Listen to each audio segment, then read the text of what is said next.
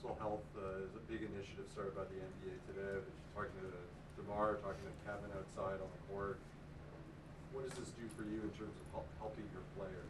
Well, I think it helps the whole league. I think it's something that uh, our society uh, as a whole, um, you know, mental health is something that affects all of us in different ways, different relationships, and you know, in all of our families. So I think that initiative is huge by Kevin and by DeMar speaking out, speaking up, and, and making it real. Um, you know, because we, like you said, we all we're all affected by it, but it helps uh, to be able to uh, address it in an open way. I think the league is doing a good job of making it a priority uh, and also making it, uh, um, you know, I don't know the word to use, but um, to to make it easy for people to speak up. I think the the stereotype is if you speak up about mental health that you're weak, and it's not the point. And I think that's what the league is trying to do is to make it easier, because I'm sure there's a lot of guys in our league that have those issues that are just not, um, you know, feel free enough to speak up about it. Because in years past, especially in sports, coaches would punish players for being for being weak and soft. And, uh, again, it's a new day. It's a new day from that standpoint. Uh, I know my philosophy and my thought process has changed even back in my days when I was a player to the, uh, you know, to today. You know, if you back then when I was in college, if you drink water, you was weak, which is the dumbest thing that ever ever we could ever do. But and just same with mental health. Uh, you know, it's that's not the case because again, we have to be empathetic uh, with with people who we feel like may have issues and understand that there's uh, more to it than just uh, basketball. Coach, you guys got the game one monkey off your back in round one. How important is it for you guys to come out and set the tone in this Huge. series? That's defensively? it's really huge. It, it's it's big. Just as it was last series, come out uh, with that confidence and the, the intensity and the and the um, you know the fight that you got to have in game one. And again, uh, we saw it last night with Philly and Boston. You know, Philly had been off for a few days, and sometimes too much rest is is not good. So you know, uh, it- it- the I thought Boston had the rhythm. they were still in game mode, had the edge. So we got to make sure we come out game ready with the edge, ready to play. What did winning game one kind of do for you guys in that series? Well, hopefully, it gave us confidence, Bruce. I hope it gave us confidence. The fact that you know, you know, to get that monkey and all the hoopla, you know, the the narrative that uh, you know we can't win game one or whatever for whatever reason off our back and uh, give us that confidence. Was it nice to not have to chase a series that way? Well, again, I don't know if our organization's ever, you know, had home court advantage, and that's, you know, been where you was up 2-0. So it was. It was good to have uh, that advantage to, so like you said, to not have to be to lose home court.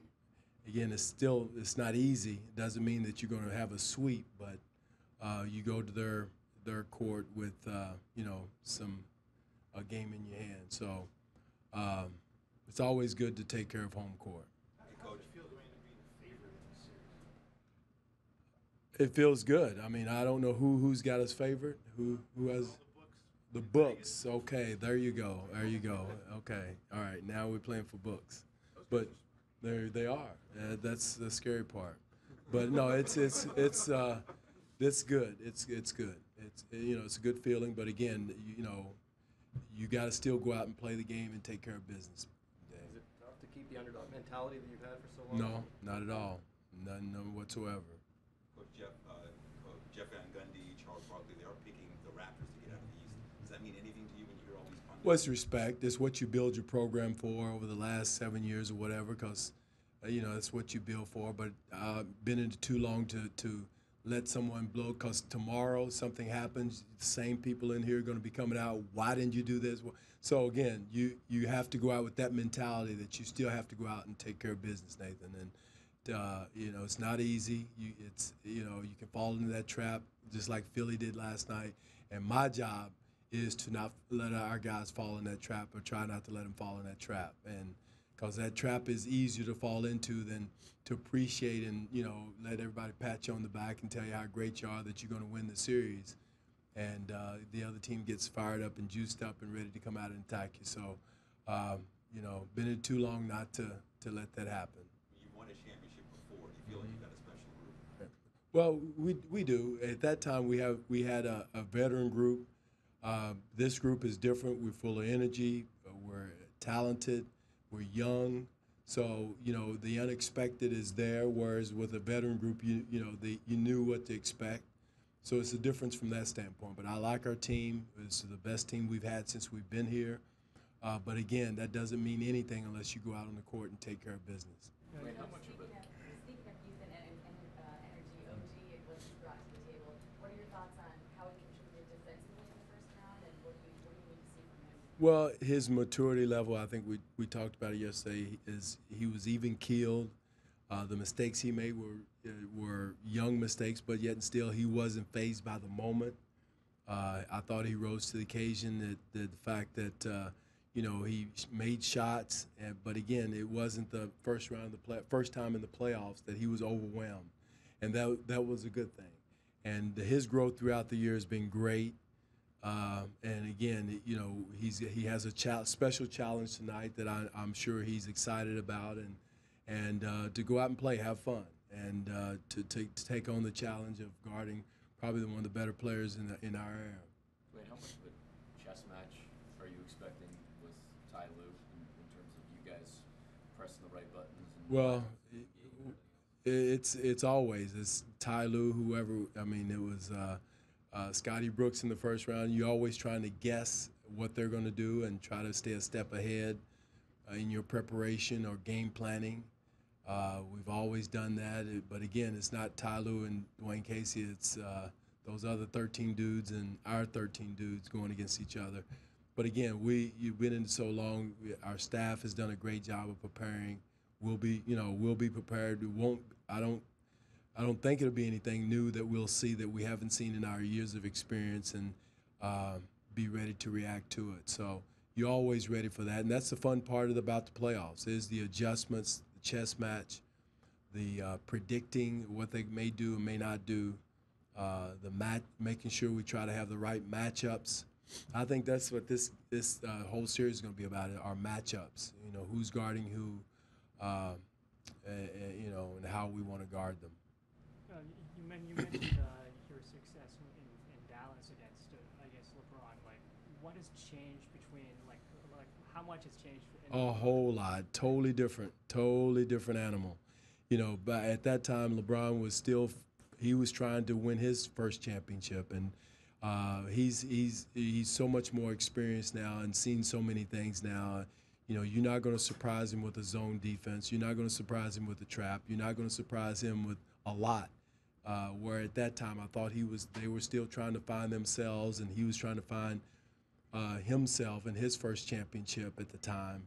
Uh, so uh, a whole lot's changed. It's to you can't even compare. Uh, it's like comparing apples and oranges in that situation. So do you stop trying to surprise? No, you don't stop trying to, but you not you know you you know that it's going to be a, a rhythm breaker instead of a game changer, if that makes sense.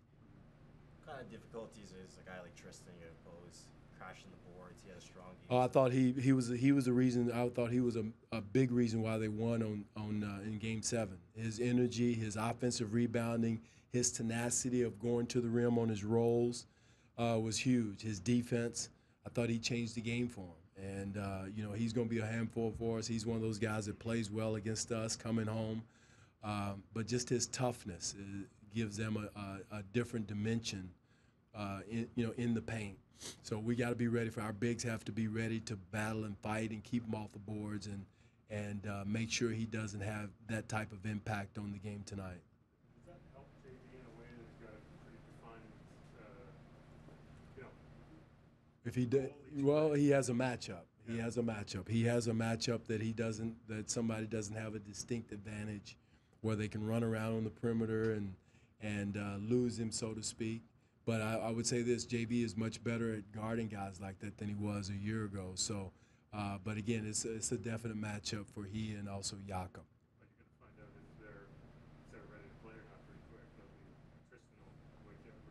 Well, he better be, yeah, because he, he, Tristan didn't waste any time in the game Sunday of going in and having an impact on the game. He was from the from the jump ball, he was ready to go, and we have to be ready to go uh, it's the same way with him with the physicality, keep him off the boards. It's going to probably be a couple of guys to sandwich to keep him off the boards.